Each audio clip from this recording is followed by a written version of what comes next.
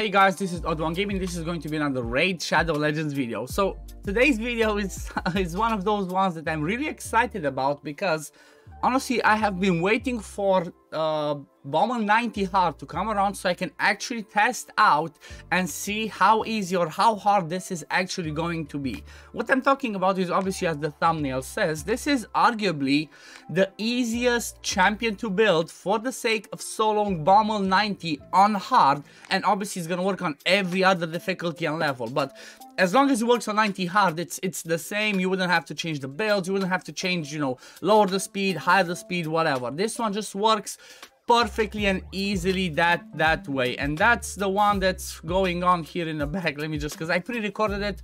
Obviously it's still one of those runs that takes for you know takes a little bit. It takes around uh, eight nine minutes. But still it's faster than most of the solo solo builds. And it's it's all using this champion over here, Lady Annabelle. The whole idea behind her is she's so amazing because of her kit. Like when she came out, uh, like uh, around like months and a half ago, when you know the, their, their previous tier three uh, test server period, when she came out and I saw her kit, first thing that jumped into my mind was like, okay, she's going to be perfect for Bommal.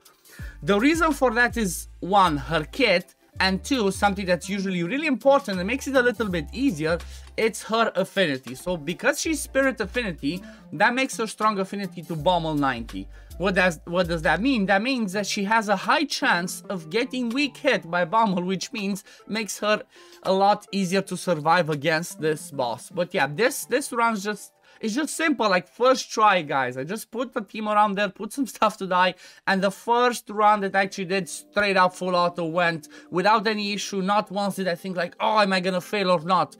No, everything went perfectly. So this is just what I'm showing you in the in the background, and uh, I'm not sure if it's there's any point for me to actually show you the run afterwards. You know, just play a, a song and let you see how it goes. It just goes as easily as you as, as you see it goes over here. The whole idea of, about uh, these types of builds for this for the sake of Bommal 90 is you're you're trying to kind of use uh, that strategy of using somebody that solos Bommal that does not need high accuracy, that does not need high resistance because it's really really hard to get those stats. So for example, in order to resist Bommal on 90 hard for placing the HP burns or those bombs that you see that he keeps placing, you need around 800 resist, which is kind of insane and extremely hard to do.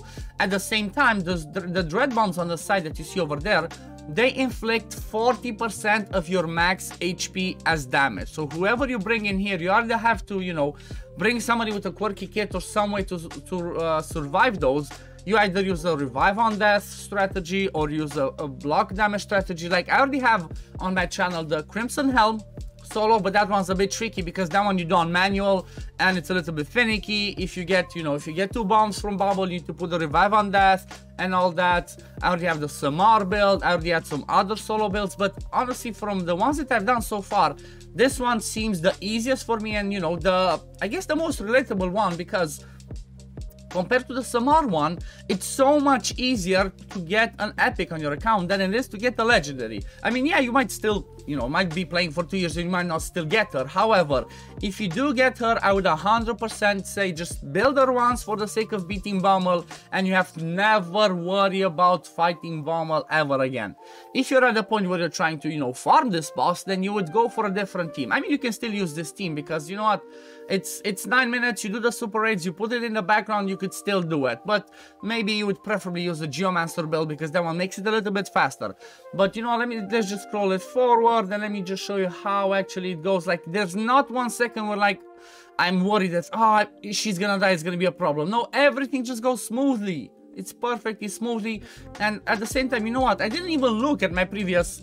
I didn't even look at my previous builds for like, oh, what did I do for the sake of Samar? Or what did I do for somebody else? I just straight up said, okay, let me give her 250 plus speed and make her be survival in regen plus immortal and boom here's the result. 8 minutes 34 this is the fastest solo i have done on my account. I've done faster teams like i said geomancer but for the sake of a solo this is the easiest and the fastest. So let's have a quick look at her at her uh, kit and then at her build and why is she so good So like I said, for the sake of Bommal, you keep to, you want to keep uh, healing, so basically you don't get killed by the bu bombs that he places from the HP burn or for the dread bombs on the side.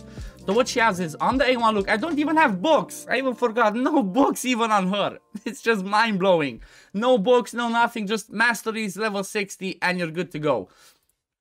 So she has on uh, A1, she hits uh, she hits one enemy twice. Each hit heals by 3% of her max HP. That's basically like having two sets of Immortal on her straight up whenever she does the A1. And as you saw on the presets, all that I did on the presets honestly was, let me just actually show you that first and then continue look at, uh, looking at this because all that she has on her pre presets is just this, lock out everything. So for the waves, you don't really care. On the boss part, just lock out her A2, A3. You only want her doing A1 and that's it. And she, she did it as easily as you saw as you saw over there. So let's let's continue and look at the uh, the other part of her kit. So this is the A1. Then the A2, she has an AoE with 100% chance when booked to place a leech and also chance to place decreased speed on uh, targets who have less than 15% turn meter. This might come in handy for the sake of like Hydra or some other stuff like that. Then on her A3, she swaps HP with the with the target ally. If the A champion's HP is equal to or higher than the target's, after swap places revive on death buff on the target ally for two turns. If it's the other way around, she places revive on death on herself.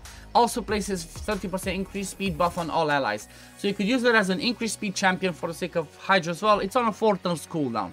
But we're not talking about Hydra, we're talking about uh, right now. And now we're gonna come to the part where she's, where, where you know, the, the passive is all that it's about. I mean, it's actually the passive and the A1. that's, that's the thing that make her especially amazing for Bommal, and that's this one heals this champion by 50% of their max HP whenever an ally or an enemy dies. So basically you're not going to be killing Bommal, but every time the Dread Bombs die, she, uh, like, sorry, die, explode, she gets 50% of her max HP. This is basically the same, uh, the same passive that Burangiri has, and from what we've seen before, there was, you know, people didn't have strong enough gear to actually make Burangiri work for the sake of stage uh, for the sake of stage 90 hard. Maybe now when we have you know when we have the blessings and we're gonna get the artifact ascension and, uh, ascension and stuff, Burangiri might work for 90 hard as well. But I don't think it, it's quite there yet because Burangiri's force affinity. She's spirit, which means, like I said, she takes less damage and she's gonna, you know, she's uh, the bo the boss is gonna weak hit. The the beauty about this one is the fact that the dread bombs do damage equal to 40% of your max HP, but she heals for 50% of her max HP. So all that you care about is to never fall to the point where she only has 40% max HP, which we saw that we, we never got to that point. It was it was pretty easy. It was pretty easy and pretty amazing. And you know what? I don't even have the best regen and immortal mind count. I have two pieces of 5-star legendary immortal, and then I have four pieces of regeneration set that are rares they're rare pieces. They're six star, but they're rare. So it's not it's not like oh my god, it's you know top tier end game gear. It's impossible to do. It's it's you know the stats that have on her are 253 speed. Didn't care about resist. Didn't care about accuracy. 75k HP, 3.5k defense. That's not too crazy. My Samar needs around 80, 90%, uh, 90,000 HP, 3, 3.5, 4k defense to actually do it, uh, you know, pretty easily.